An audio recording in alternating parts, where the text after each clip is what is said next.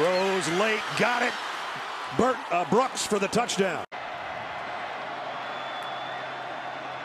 Dart to the end zone.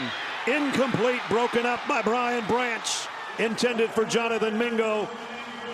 And there's a smile on the face of Nick Saban right now. Maybe for the first time in a couple of weeks. Don't blame him.